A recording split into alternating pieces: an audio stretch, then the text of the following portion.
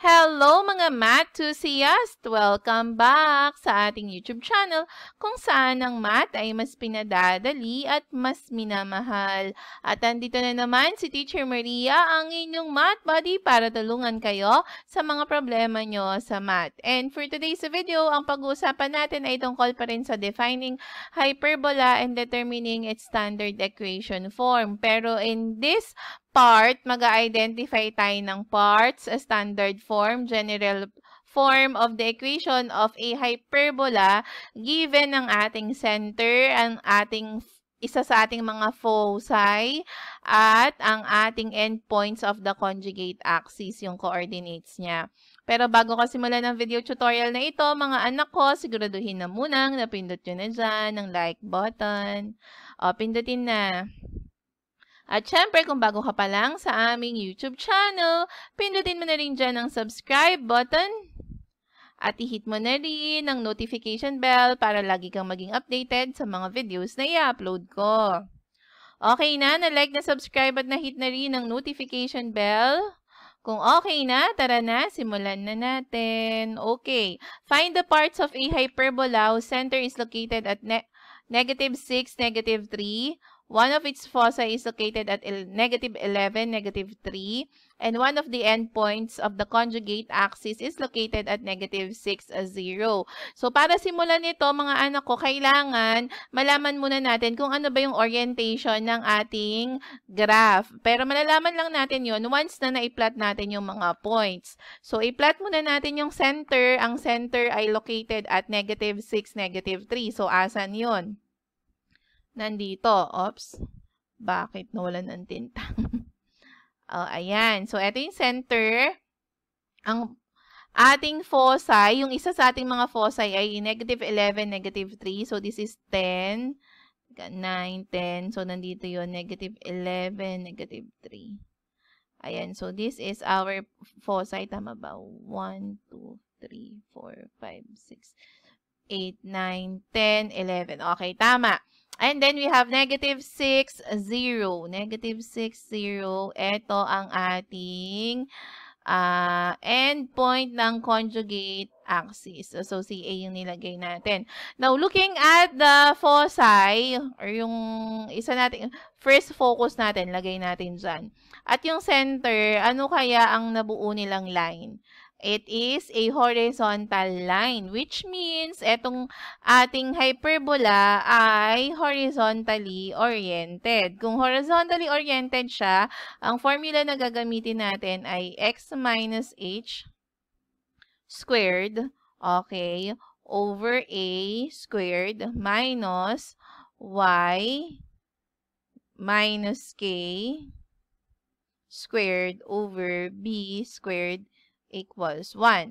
Ngayon, wala na tayong problema kay HK kasi alam naman natin ang center. Ang center natin ay negative 6, negative 3, which gives us H equal to negative 6 and K equals to negative 3. So, wala na tayong problema doon. Ang problema natin ay yung A squared at B squared. Pero, dahil alam natin Uh, dahil meron tayong center at focus, malalaman natin kung ano yung C natin. So, to identify yung C, yan ang distance from the center to one of the focus. Okay? So, dahil meron ka ditong focus na sa ka-center, bilangin na lang natin. So, ilan yan?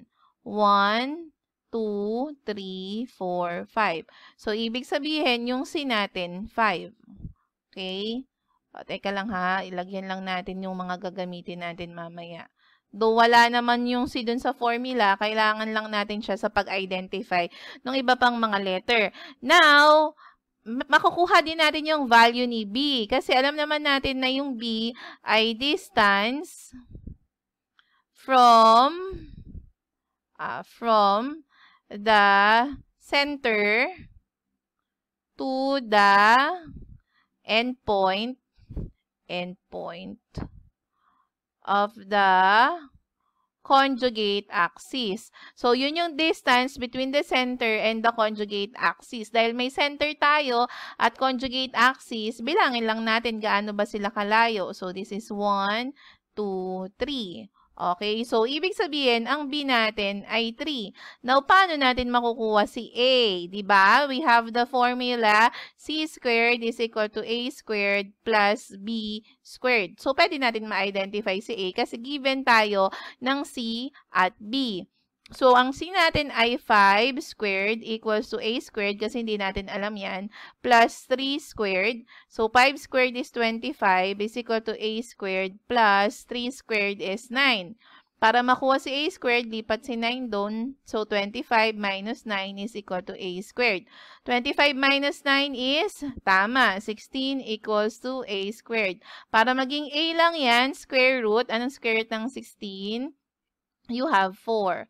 Okay, so you have now A, B, and C. Pwede na natin kunin yung standard form. Teka, enter ko lang to ha. May sumisilip na parts eh. Ayan. So, ang standard form na natin nito ay SF. Okay? So, we have X 'di ba? X minus H. Dahil ang H natin ay negative 6, dahil may negative sign ka dito, negative times negative, positive na siya. So, magiging X plus 6 na to. Ulit ha, x minus negative 6 kasi yan, di ba? So, negative saka negative, positive na siya. Baka nagtataka kayo paano naging positive. Over, ang a squared natin ay, a is 4. Pag in-squared natin, ayun yun, 16. Okay, minus, we have y. Dahil ang ating k ay negative din, so may negative ka dito, negative sa negative, positive. So, y plus k na siya. Ay, asa na? So, y plus 3 na. y plus 3, okay, squared. And then, yung squared ng 3 natin is 9. So, equals to 1. So, meron ka ng standard form. Okay, and then, yung mga parts na. Now, to get the center, we know it is negative 6. Okay, negative 3. For our V1, vertices, di ba, may dalawa tayo. That's H plus A and then K. Alam naman natin ang H natin ay negative 6 at ang A natin, sulat natin dito para hindi na tayo taas ng taas. Ang A ay 4. Ang B ay, ilan yung B? 3. At ang C ay 5, tama? Aha, B3, 5. Okay. Ang H natin ay negative 6. Ang K natin ay negative 3. Okay. So, we have here negative 6 plus ang A natin ay 4. And then, yung K natin is negative 3. So, negative 6 plus 4, you will have there negative 2 and then negative 3. So, eto ngayon yung ating first vertex, uh, vertex o V1 natin. Now, for our V2, uh, that is equal to H minus A. So, negative 6 minus 4. Okay. And then yung K natin, negative 3 pa rin. So, dahil ito ay negative 6 minus negative 4 KCC, you will have your negative 6 minus 4k cc. Magiging positive to, magiging negative. So, negative 6 plus negative 4, that's negative 10, and then negative 3. So, eto ngayon yung ating pangalawang vertex. O, this is 1. 10 to ha. And then, ito pa yung isa. Okay, now for the endpoints of the conjugate, okay, we have here h and then k plus b. So, w1 is equal to, ang h natin ay negative 6, ang k natin ay negative 3 plus, ano ang b? 3. Okay, so you will have here negative 6, negative 3 plus 3, 0. So, you have here this one. Okay, and then for our w2, we have 0 and then k minus b. Ano ang k natin? Teka, diretso na natin. Negative 3. Diba? Negative 3 minus ano yung b natin? Aha, 3. Okay, dahil ito ay negative 3 minus 3, magiging negative 6 na siya. So, this is 0, negative 6. Okay, so that's how you solve mga anak ha. Okay, for our foci, so yung first focus natin is h plus c. So negative 6 plus yung c natin ay 5. Tama ba? c ay 5. Tama. And then yung k natin, negative 3. Okay, what is negative 6 plus 5? That's negative 1. And then negative 3. Okay, ito na yung first o yung inyong mga parentheses. And then, for F2, F sub 2, that is H, so negative 6 minus 5, and then negative 3. So, you will have here negative 11, kasi negative 6 minus 5 is negative 11, minus 3. Okay. So, sundin lang yung mga formula para makuha nyo yung mga parts. For the equation of the asymptotes, we have the formula y is equal to, wait lang, y is equal to, aha, what is that formula? k plus minus b over a x minus h. Okay? So, meron tayong dalawang isosolve ha. Yung isa, k, ah, y is equal to k plus b over a times x minus h. And then, yung isa naman ay y is equal to k minus b over a x minus h. Okay, so substitute natin. Ang k natin ay negative 3, tama? Plus, ang b natin ay 3. Teka lang. Ilan ba? 3 saka 4 yung a.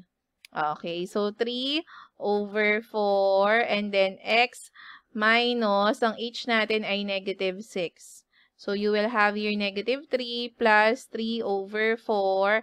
X, eto negative sa negative, magiging positive na siya. And then, distribute yung 3. So, you will have your negative 3 plus 3x plus 18 over 4, ha? Kasi over 1 to. So, 4 times 1, you have 4. And then, LCD, para makombine sila, that's 4. 4. Ito, may in invisible 1 siya, diba? So, 1. 4 divided by 1 is 4 times 3. You have negative 12 plus 3x plus 18. So, you will have here now, y is equal to 3x, okay, plus 18. Uh, negative 12 plus 18 is ilan? We have 6, tama? Over 4. Or y is equal to 3x over 4 plus, what is the lowest term of 6 over 4? Divisible by 2, diba? So, this is 3 over 2. Ay, sorry, 3 over 2. 3 over 2. O, ito yung first. Okay na equation. For the second equation, we have here negative 3 minus, we have 3 for B, 4 for A, and then X, ilan to? Plus, plus na to ha, 6. I-shortcut ko na. Kasi yung, ito naman ay magiging X minus negative 6. So, X plus 6 na siya. O, distribute lang. Pareho lang yung procedure, mga anak ha. Pinagkaiba lang, ito plus, ito minus. So, negative 3 minus 3X Okay, and then negative 3 times uh, 6, so negative 18. Okay, over 4 ito. Okay, so ano mangyayari dito? You will have to have the denominator. So, 4 din ang denominator nila, LCD. 4 divided by 1 is a 4 times negative 3. So, negative 12 minus 3x minus 18. So, you will have here now, aha, negative 3x. What is now negative 12 minus 18? That's negative 30.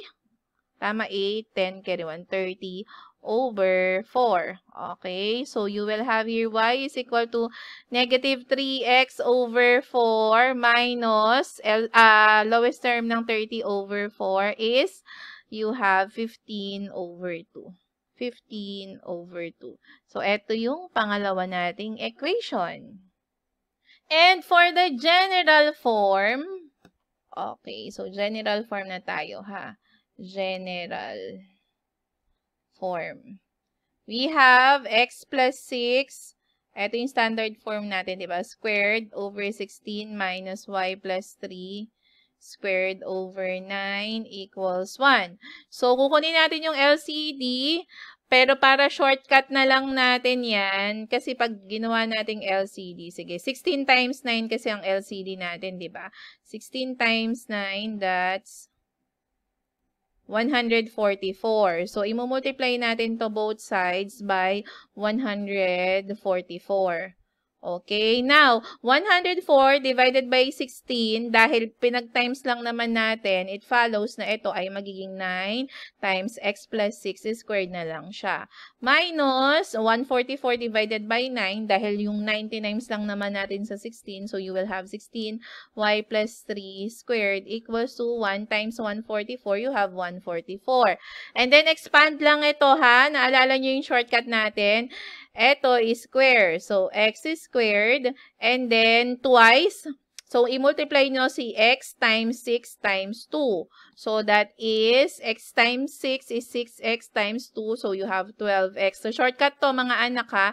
Dahil ito ay positive, positive yan. And then, square nyo yung last term. So, you will have 36. So, plus 36 Okay, times 9 yan. Minus 16, o, ganun din dito ha, squared ng y, y squared, y times 3, 3y times 2, that is 6y, okay, plus squared ng 3, you have there 9. Okay, equals to 144. Then, ito ngayon ay i-distribute. So, 9x squared. Pag minultiply mo yung 9 and 12, you have there 108x plus 9 times 36, you have 324. And then, this one, negative 6 times y squared, negative 16y squared. Negative 16 times 6, 6, 6, 36, carry 3, so 96. So, negative 96y plus negative 16 times 9, Okay, so dapat negative na to kasi negative times positive is negative. So you will have here negative 144 equals to 144. So lipat lang to, tapos i-arrange na natin ha. So we have 9x squared, okay na to. Isabay ito, dapat squared ha, parehong letter na squared. So we have negative 16y squared and then plus 108x Okay, and then itong y naman, negative 96y. Tapos plus 324 minus 144. Pag nilipat to, minus 144 din siya equals 0. So, you will have 9x squared minus 16y squared plus 108x minus 96y. Pag si 32, nag-minus ka ng 144, tapos nag-minus ka pa ng 144, that is 36. I-calculator nyo na lang ha, equals to 0. So, the general form of our given is 9x squared minus 16y squared plus 108x minus minus 96y plus 36 equals 0. Ngayon, kung naiintindihan mo ang video na ito at natulungan kita, please i-comment yan sa ating comment section ha. Mga anak, help me up this video by writing your comments. So, sana sa lahat ng video ni Teacher Maria ay mag-iwan kayo ng comment para matulungan niyo yung mga videos natin. And syempre, don't forget to share it to your classmates kasi baka nababaliw na sila. At least may guide sila. And please visit me on my Facebook page, Love Ma TV. Mga anak, pa-follow naman. Sige na. And let's spread the love of math. Thank you and bye!